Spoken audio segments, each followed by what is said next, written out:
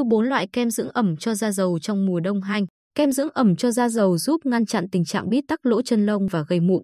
Lựa chọn kem dưỡng ẩm cho da dầu sẽ giúp bạn có một làn da khỏe mạnh hơn. Kem dưỡng ẩm cho da dầu AHC Capture Kem dưỡng AHC Capture bản màu xanh có chất kem mềm mịn, khi thoa lên da không gây nhờn rít. Sản phẩm này có tác dụng hiệu quả trong việc dưỡng ẩm, cấp ẩm cho làn da trong thời gian dài.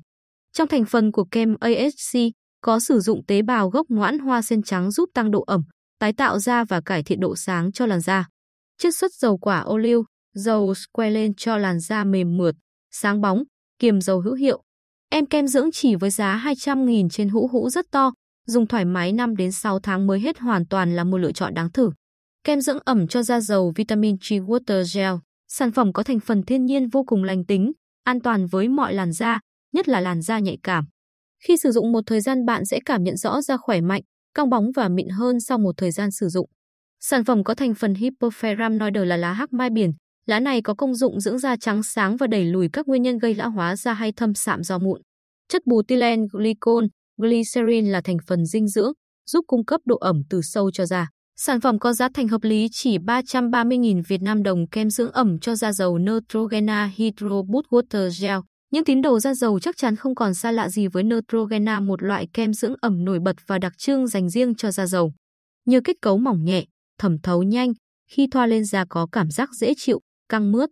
Thành phần lành tính không hương liệu như các chất hyaluronic acid, acid amin, chất điện giải, giúp cung cấp ẩm sâu cho da hàng ngày, giúp da luôn mịn màng và tràn đầy sức sống. Ngoài ra dùng lâu dài còn giúp làm đều màu da. Giá thành 280.000 VND trên 50ml. Kem dưỡng ẩm cho da dầu Sambimi AHA BHA PHA 30 Days Miracle Cream. Kem dưỡng ẩm cho da dầu Sambimi AHA BHA PHA 30 Days Miracle Cream là một sản phẩm dành cho dầu nổi tiếng ở Hàn Quốc.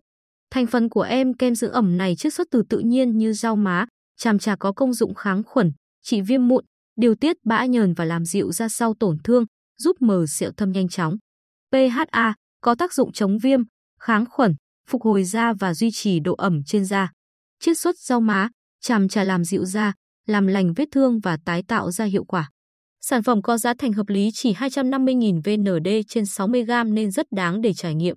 Không chỉ da khô mới cần cung cấp đủ nước, da dầu cũng rất cần được dưỡng ẩm đặc biệt vào mùa đông. Vì vậy hãy tham khảo những loại kem dưỡng ẩm này để có một làn da xinh trong mùa đông năm nay.